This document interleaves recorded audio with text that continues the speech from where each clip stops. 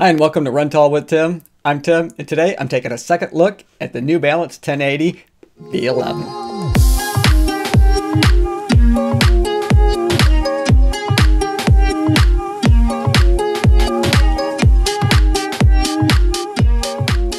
What's up everybody? Hey, I hope you're having a great day today. Welcome to the channel. If you're new here, I post running shoe reviews on both Wednesday and Saturday mornings, and that's at 5 a.m. Standard Eastern Time here in the US. But I also like to post a lot of other running videos as well, but I never know what day of the week that's going to be or even what time. So if you enjoy watching running shoe reviews and other videos related to running, be sure to subscribe to the channel and click the notification bell so that you'll be notified each time that I upload new content. Now, before I get into it too far with the New Balance 1080 V11s, I always like to demonstrate what it looks like to run in the shoes that I'm about to review for you. So let's do that, but then when we return, we're going to take a real close look at the New Balance 1080 V11 after 50 miles.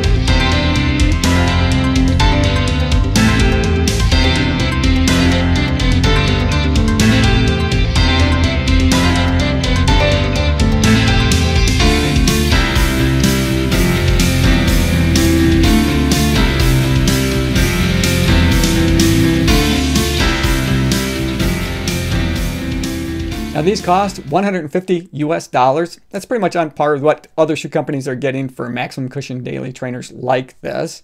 They do come in at 9.3 ounces for a men's size 9 on my scales or 265 grams. Now, I'm going to start and just talk a little bit about the fit. I have over 50 miles in on these shoes now, and the first time I ran in them, it was 19 degrees Fahrenheit, so a bit chilly underfoot. Now, it has warmed up, as you can see from that run sequence here. It's not hot, but I think in that in that run, it was about 60 degrees, somewhere around that ballpark. And, you know, they felt really comfortable underfoot. These are fun and enjoyable to run in, and they are, like I said, a maximum cushion shoe. So, but I do want to talk about the fit. Now it has this stretch knit upper, and it is pretty stretchy up in that toe box, if I can get a hold of it. But look at that, you know, that, that's a lot of stretch there. The nice thing about that is I think it's pretty accommodating for a lot of different foot shapes and sizes, and not all shoes um, are. now, for if I was going to use this shoe to race in, it probably wouldn't be my first choice. I do have other options that give you a nice race fit feeling up in that toe box and that run a little bit lighter and I think that are a little faster. But that's really not where this shoe shines. This shoe shines in the daily trainer, log lots of miles, feel comfortable at the end of the run in that kind of a category. And if we look at the upper as, as we move around on the shoe here, uh, you know, we can see that there's not a whole lot going on here. But what's difficult to see, I think, in pictures sometimes is while the toe box up here is really stretchy and, like I said, accommodating, lots of room to display your toes, as you move around to the side of the shoe, this material gets more stout or stiff. If you want to get a lockdown feeling across your midfoot, you can't have a ton of stretch there because otherwise you're going to be end up pulling those laces all the way together. And you know that is an issue that I had with shoes like uh, the Hoka Clifton 7, for example. That material is stretchy all over the place. It seems like, and I always had to stop it and cinch up my shoes a little more if I wanted to keep that snug uh, lockdown feeling across my midfoot. I didn't have that issue with these at all that they did a good job, I think, in transitioning from the more stretchy material up in the toe box to give you that comfort that you want, but yet you know, balance it with some stiffer material across the midfoot so you can get a nice secure lockdown feeling here. I did enjoy that very much. Now, this the construction of the upper, uh, you know, they call it a bootie construction, and I would agree with that, but you know, it's an unusual, I guess, bootie construction because, you know, the bootie part goes up to about the third eyelet where it's just, you know, that's all kind of one piece of material.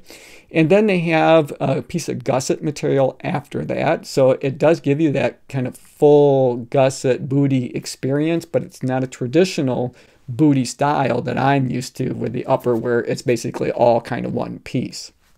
So there's a little bit more flexibility there. And the tongue of the shoe, you know, it's semi-padded. You know, it's not overly done. There's plenty there though. I didn't have any issues with the padding of the shoes and, you know, I didn't feel the laces cutting across the, um, the top of my foot at any point. So they have been really comfortable. And it didn't matter if I was going uphill or downhill. And you guys know, especially when you're going downhill, your foot wants to kind of slide forward a little bit. And I thought felt like this shoe did a good job in just keeping me in place when that, when I was going, uh, you know, on those inclines. Now, if we look at the padding around the heel collar and tab, now this is this is a little bit unusual. You know, they don't really have any padding up there. As you get around to that heel counter, this material is kind of a neoprene. It almost feels like a wetsuit or something that you would wear if you were a diver. It has that kind of a feel to it. And there really isn't any padding really in around the heel collar or, you know, in the uh, kind of in that heel counter area. Now it does a good job, and I haven't I haven't had any issues, comfort issues with these. But I did know, I think in the first review, when I put these on, I purposely put them on without socks. And it did feel rough when it was right up against my skin. So I just know going forward, I'm going to have to wear probably a little bit taller socks so that that doesn't cut into my um, the side of my foot at all and cause any kind of discomfort that way. But other than that, I'd say that that's kind of a kind of a minor issue because you know I felt pretty locked in in the shoe and secure, especially in the in the heel. But now that was a little bit unusual, so I do want to talk about that. Is I did feel locked in and secure in that heel cup, but the sensation that I got, I always felt like it could slip. And the reason for that, and I, you know, I really thought about this a lot uh, as I was uh, thinking about the review for the shoe, was you know, if I take that Achilles heel flare and I bend it down, that the height there that you see, that's as far up as really the structural material goes in that heel. And for me, it kind of doesn't go up far enough for me to get a feeling like I'm not going to slip out of the shoe. But I didn't, I, like I said, I didn't slip in it so it's comfortable that way. I just, the sensation that I got was a little bit awkward for me. I guess that's the best way I can describe it. It was just a little bit awkward. In terms of durability after 50 miles for the upper, including that heel collar and tab, you know, these have held up tremendously well. I don't see any signs of wear at all anywhere on the shoe other than it being just a little bit dirty from taking them out on the trails but nothing that the, you know a scrub brush and a bucket won't fix. So let's talk about the foam underfoot. You know they have their fresh foam x material underfoot here and they got a lot of it. They, they have a 30 millimeter stack height in the heel and 22 millimeters up in the forefoot, so they have an 8 millimeter offset from the heel to the toe. So as I noted, the first time I ran in these shoes, it was 19 degrees Fahrenheit, so well below freezing, but they still felt soft and responsive and cushioned up in that forefoot especially. But now that the weather has warmed up and I have more miles on these shoes, they feel even better. So not only have I not noticed any kind of deterioration or any kind of you know breakdown in the integrity of the foam, I feel like that they just have gotten better over time. I love this foam. It's really soft. It's responsive. You know, I never felt like I was getting slowed up by the foam. Like, you know, I was, it was kind of, you know, sinking in like a marshmallow feeling and not really popping me up. I always felt like I was, you know, bouncing, I guess is the best way I could describe it. I felt like I was bouncing and mostly on the midfoot to the forefoot of the shoe did I get that sensation. I didn't have it so much when I was heel striking. So I think if you're a heel striker, this may not be the best option for you as far as a maximum cushion daily trainer goes.